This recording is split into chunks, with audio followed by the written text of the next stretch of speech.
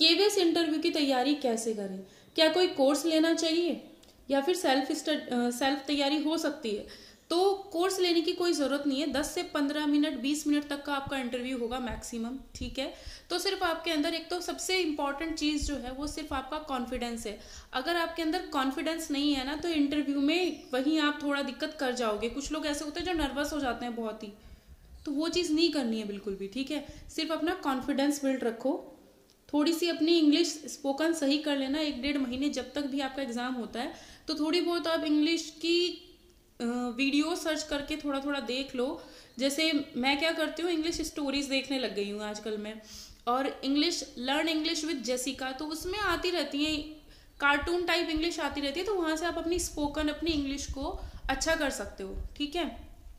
तो learn English with Jessica channel अगर आप फॉलो फॉलो करते हो तो कार्टून टाइप इंग्लिश चलती रहती है सिचुएशन बेस्ड इंग्लिश चलती रहती है तो आपको उसमें ऐसा नहीं होता कि आपको हिंदी में ट्रांसलेट करके पढ़ना होता है। अगर थोड़ी थोड़ी इंग्लिश आपको आती भी है तो वहाँ से आप बहुत इजीली कवर कर सकते हो। आपको चीज़ें पता चल जाएँगी दो चार महीने एटलीस्ट देखते ही रहो इंग्लिश की वीडियोस आपको हमेशा काम आएँगी, ठीक है?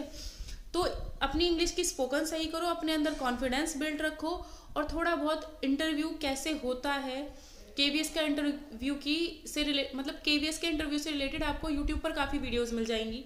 तो वो थोड़ा सा और सर्च करके देख लो पेड कोर्स के चक्कर में पड़ के कोई फ़ायदा नहीं है, दस पंद्रह मिनट का इंटरव्यू होगा कोर्सेज खरीदोगे और जो क्वेश्चन एग्ज़ाम में इंटरव्यू में आप लोगों से पैनल पूछने वाला है ना, जो क्वेश्चन आपसे वहाँ पूछे भी जाएँगे तो वो क्वेश्चन आपसे वो लोग नहीं पूछेंगे जो आपको पेड कोर्स कराने वाले हैं।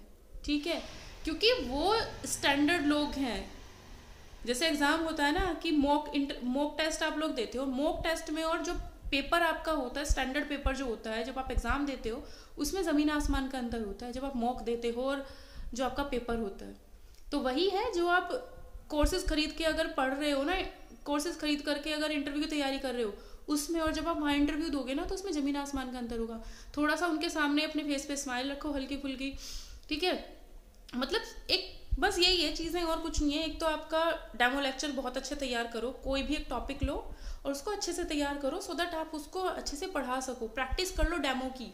पहले से ही कि आपको ये टॉपिक पढ़ाना है तो कितनी बारी पढ़ा कैसे मतलब बार बार उसको पढ़ा करके देख लो सो दैट आप जब वहाँ पर पाँच दस मिनट के लिए पढ़ाओगे तो आपको प्रॉब्लम नहीं आएगी फिर।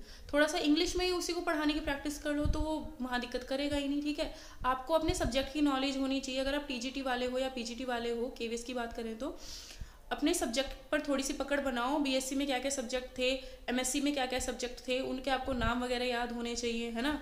तो वो चीज़ें थोड़ी थोड़ी पता रखो, बस और कुछ करने की ज़रूरत नहीं है। थोड़ी सी यूट्यूब से ही इंटरव्यू की वीडियो सर्च करके देख लो। के के इंटरव्यू की वीडियोस बहुत सारे लोगों का आपको आपको एक्सपीरियंस मिल जाएगा। तो कोई कोर्स वोर्स के चक्कर में ना ही पढ़ो टाइम वेस्ट है वो। अपने आप तैयारी कर लो थोड़ी सी वीडियो सर्च कर लो, एक कॉन्फिडेंस रखो डेमो अच्छे से प्रिपेयर कर लो।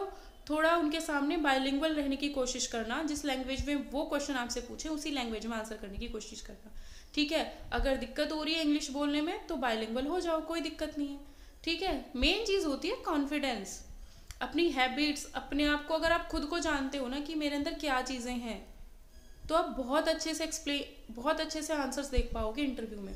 एक ही चीज़ है कॉन्फिडेंस जिसके अंदर कॉन्फिडेंस होगा, वो गलत चीज़ को भी सामने वाले के सामने उस तरीके से बोल देगा कि वो उसे पता वो खुद पे डाउट होने लग जाएगा कि यार ये सही है या गलत है।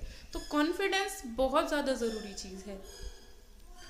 ठीक है? हालाँकि वहाँ पर लोग जो बैठे होंगे आपके सामने, वो पता चल जाएगा उन्हें कि क्या गलत है, क्या सही बोल रहा है सामने वाला। लेकिन जब आप आंसर दोगे ना, वो जस्ट आपका कॉन्फिडेंस चेक करेंगे। ठीक है?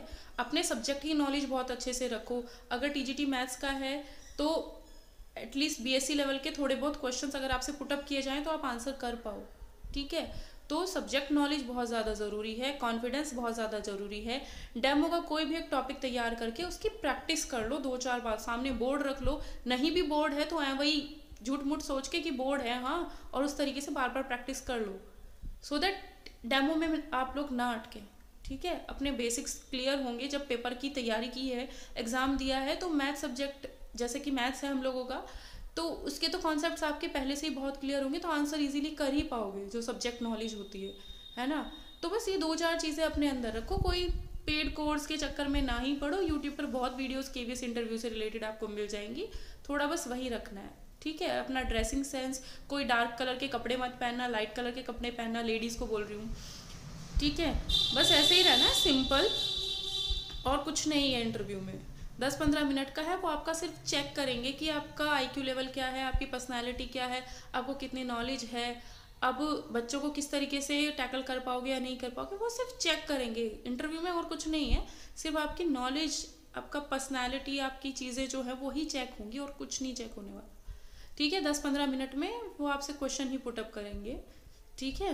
एनवीएस में जो इंटरव्यू हुआ था, बच्चे बता रहे थे कि मेरी तो बहुत ज़्यादा तारीफ़ की जा रही थी स्टार्टिंग में ही। वो शुरू में ही तारीफ़ करके आपको पहाड़ पे चढ़ा रहे थे कि सामने जो इंटरव्यू देने वाला है, वो बहुत खुश हो जाए। तो नॉर्मल रहना है उनके सामने, खुश नहीं होना है ज़्यादा। नॉर्मल चाहे वो कुछ भी कह रहे हैं नॉर्मल रहना है, बस। वो वही चीज़ चेक करेंगे और कुछ नहीं होने वाला ज़्यादा इंटरव्यू में। आपकी नॉलेज देखनी है उन्हें सब्जेक्ट नॉलेज टीचर टीचर ही बनता है जब इंसान पैडागोजी आप लोगों ने पढ़ी होगी तो उसमें यही तो चीज़ें हैं। कॉन्फिडेंस होना चाहिए। आपके दिमाग का कितना विकास हो रखा है, आपका संज्ञानात्मक विकास कॉग्नेटिव डेवलपमेंट कितना है, वही चीज़ें वो लोग चेक करेंगे। जैसे किसी ने पूछा था कि एनवीएस में पूछा गया कि एनवीएस में एक क्वेश्चन पूछा गया था, एक स्टूडेंट ने बताया था कि अपने बारे में वो चीज़ बताओ जो बहुत ही ज़्यादा स्पेशल हो और डिफरेंट हो। तो इस पॉइंट से क्या पता चलता है कि आप अपने आप को कितना जानते हो? ठीक है, कुछ लोग होते हैं, उन्हें पता ही नहीं होता कि मेरे को लाइफ में करना क्या है। ये वाला फॉर्म आया, ये वाला फिल कर दिया, वो आया, वो फिल कर दिया। उनका एक विजन नहीं है तो लाइफ को लेकर के एक विजन होना बहुत ज़्यादा ज़रूरी है। ठीक है? अपने आप को पहचानना बहुत ज़्यादा ज़रूरी है कि मैं किस फ़ील्ड में जाना चाहता हूँ, मेरा इंटरेस्ट किस चीज़ में है, या मेरी हॉबीज़ क्या क्या हैं, मैं लाइफ में करना क्या चाहता हूँ।